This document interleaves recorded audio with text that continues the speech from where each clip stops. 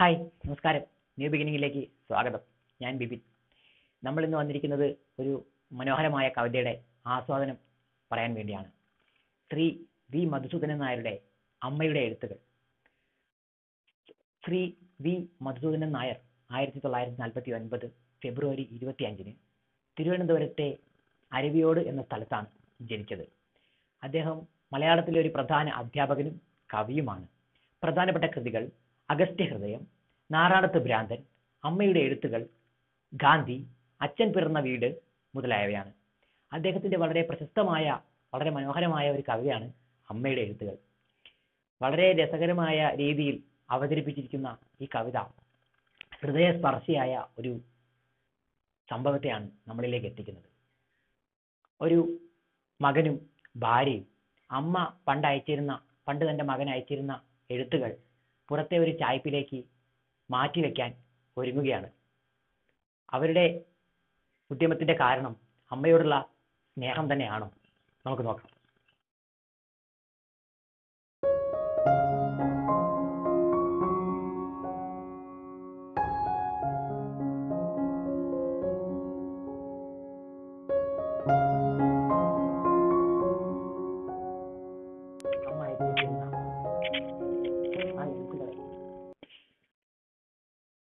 മാറ്റിവെക്കാൻ ഒരുങ്ങുകയാണ് ഒരു മകനും ഭാര്യയും.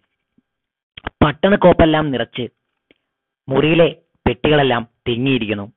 അതിനാൽ തന്നെ ഭാര്യ ഈ എഴുത്തുകളെല്ലാം ഇവിടെ നിന്ന് മാറ്റണം എന്ന് തന്റെ ഭർത്താവിനോട് ആവശ്യപ്പെടുകയാണ്. അതിനോട് മകനും യോജിക്കുന്നു. കാൽപ്പെട്ടിയിൽ വെച്ച് താഴിട്ട് പിന്നിലെ ചായ്പിൽ ഒളിക്കാം. കുട്ടികൾ അറിയില്ല. കുട്ടികൾ അത് കാണുകയോ വായിക്കുകയോ ചെയ്യാ ചെയ്യാതിരിക്കാനാണ് ഇരുവരുടെയും ശ്രമം. പക്ഷേ അതിലേക്ക് നോക്കുമ്പോൾ തന്റെ മകന് തന്റെ അമ്മയുടെ സ്നേഹവും വാത്സല്യവും എല്ലാം ഓർമ്മ വരുന്നുണ്ട്. അതിലുള്ളത് അമ്മയുടെ വാത്സല്യമാണ്. അമ്മയുടെ ഉത്കണ്ഠകളാണ്. അമ്മ മകനായി എഴുതിയിരുന്ന സാരോപദേശങ്ങളും വേദനയും പ്രാർത്ഥനയും നാമസങ്കീർത്തനങ്ങളും നാട്ടുപുരാണങ്ങളും വീട്ടുവഴക്കുകളും ഊട്ടുത്സവങ്ങളും വിതപ്പൊലി പാട്ടുകളും നാവേറു മന്ത്രങ്ങളും നറുക്കിലെ പൂവുകളും നീർവീഴ്ചയാക്കാനുള്ള മരുന്നു കുറിപ്പുകളുമെല്ലാം നിറഞ്ഞവയായിരുന്നു ആ കത്തുകൾ. തന്റെ മകനായി അമ്മ എഴുതി വെച്ചിരുന്ന ആ കത്തുകളാണ് ഇപ്പോൾ അവർ അവിടെ നിന്നും മാറ്റാനായി ഒരുങ്ങുന്നത്. ഭദ്രമായി തന്നെ അതൊരിടത്ത് ഒതുങ്ങിയിരിക്കട്ടെ. കുട്ടികളെ തൊട്ട് വായിച്ചാൽ ആ എഴുത്തുകൾ അശുദ്ധമായി പോകും എന്നാണ് അദ്ദേഹത്തിന്റെ ഭാര്യ പറയുന്നത്. അമ്മ എന്ന് പറയുമ്പോൾ മാതൃഭാഷ. ആ മാതൃഭാഷയെ ഭാഷയോടുള്ള അവഗണനയ്ക്ക് ന്യായീകരണം കണ്ടെത്തുകയാണ് ഇവിടെ. തൊട്ടു വായിച്ചാൽ അശുദ്ധമാകും എന്നാണ് ഭാര്യയുടെ അഭിപ്രായം.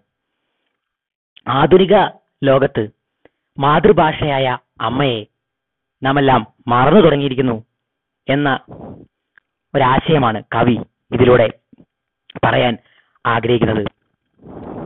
അമ്മയുടേതാം എഴുത്തുകളൊക്കെയും അമ്മയായി തന്നെ ഒതുങ്ങിയിരിക്കട്ടെ. നമ്മൾ വിദേശത്തു നിർമ്മിച്ചൊരമ്മതൻ ബിംബം ഈ ആദിത്യ ശാലയിൽ ശോഭനം വിദേശ ഭാഷ വിദേശ ഭാഷയാണ് ഇപ്പോൾ എല്ലാവരും ഇഷ്ടപ്പെടുന്നത്.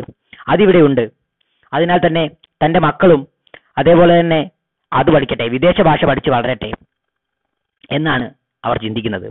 അല്ലെങ്കിലും ഇന്ന് മലയാളത്തോടുള്ള നമ്മുടെ മാതൃഭാഷയോടുള്ള ഒരു അവഗണന നമുക്ക് കാണാൻ സാധിക്കും.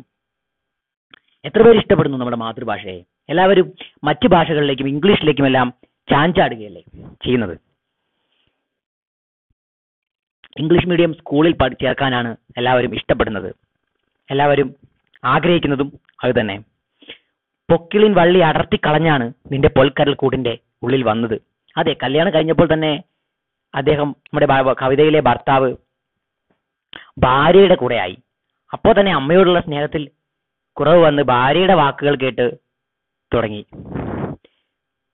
അതുകൊണ്ട് തന്നെ എല്ലാം മറന്നു തുടങ്ങിയെങ്കിലും അമ്മയൊരു ഓർമ്മയായി ആദിമ സംഗീതമായി അദ്ദേഹത്തിന്റെ ഉള്ളിലുണ്ട്. അമ്മയെ അങ്ങനെ മറക്കാവതല്ല എന്ന് അദ്ദേഹം തിരിച്ചറിയുകയാണ് അദ്ദേഹം മനസ്സിലാക്കുകയാണ്. അമ്മയൊരു ഓർമ്മയാണ് നമ്മൾ ഓർത്താലും ഇല്ലെങ്കിലും കാവലായി അത് നമ്മുടെ കൂടെയുണ്ട്. രക്തത്തിലെ ചൂടായി നിൽക്കുന്ന തന്മയും താളവും അമ്മയാണ് അമ്മയുടെ സ്നേഹമാണ് അമ്മയുടെ വാത്സല്യമാണ്. അതിനാൽ തന്നെ നമുക്ക് അമ്മയെയും മാതൃഭാഷയെയും മാറ്റി നിർത്താവതല്ല എന്ന തിരിച്ചറിവ് കവിക്കുണ്ട്. അവസാനം അവസാനത്തെ വരികൾ വരികളിലാണ് കവിയുടെ വിഷമവും വേദനയും സന്ദേശവും ഉൾക്കൊള്ളുന്നത്. നാളെ ഈ കുട്ടികൾ ചോദിക്കുമോ? നമ്മൾ ആരുടെ കുട്ടികളാണെന്ന്? അവർ ഓർക്കുമോ? തങ്ങളുടെ അമ്മയെ തങ്ങളുടെ മാതൃഭാഷയെ? മാതൃഭാഷയെ മറന്നു മറന്നു പോകുന്ന ഒരു സമൂഹം ആണോ ഇനി ഉണ്ടാവുക? എല്ലാവരും ഇങ്ങനെ മറ്റു ഭാഷകൾക്ക് പുറകെയും ഇംഗ്ലീഷ് തുടങ്ങിയ ഭാഷകൾക്ക് പുറകെ പുറകെയും ഓടിത്തുടങ്ങുന്ന ഈ കാലത്ത് മലയാളത്തെ ഓർക്കുന്ന കുട്ടികൾ ഉണ്ടാവുമോ ആരെങ്കിലും അന്വേഷിക്കുമോ? നമ്മുടെ അമ്മയെ നമ്മുടെ മാതൃഭാഷയെ?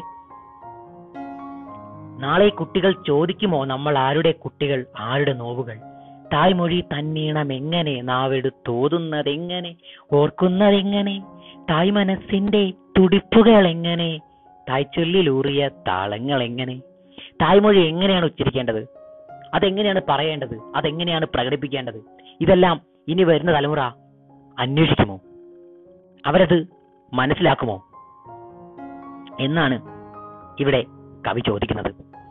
മാറി വരുന്ന തലമുറ എങ്ങനെയാവും നമ്മുടെ ഭാഷയെ ഓർക്കുക നമ്മുടെ അമ്മയെ ഓർക്കുക? ആരാണ് ഇതൊക്കെ തേടാൻ ഉണ്ടാകുക ഉണ്ടാവുക. ആര് തേടും? നാളെ നമ്മുടെ കുട്ടികൾക്ക് ഓർക്കാനും അമ്മയെ വേണ്ടായിരിക്കുമോ?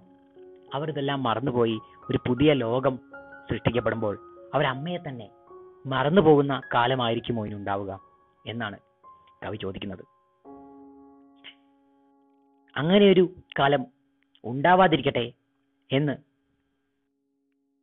നമുക്ക് പ്രാർത്ഥിക്കാം. അതിനുവേണ്ടി നമുക്ക് ഒന്നിച്ച് നിൽക്കുകയും ചെയ്യാം. നമ്മുടെ അമ്മയെയും നമ്മുടെ മാതൃഭാഷയെയും എല്ലാം സംരക്ഷിക്കേണ്ട കടമ മക്കളായ നമുക്ക് തന്നെയാണ് നമ്മൾ തന്നെയാണ് അത് നിക്ഷിപ്തമായിരിക്കുന്നത്. അതിനാൽ തന്നെ അമ്മയെയും മാതൃഭാഷയെയും നമുക്ക് മറക്കാതിരിക്കാം. ഒരുമിച്ച് നമുക്കതിനായി കൈകോർത്ത് മുന്നേറാം എന്ന് നമുക്ക് തീരുമാനിക്കാം. ഇനി വളരെ മനോഹരമായ മറ്റൊരു കവിതയുമായി കാണുന്നതുവരേക്കും. Thank you.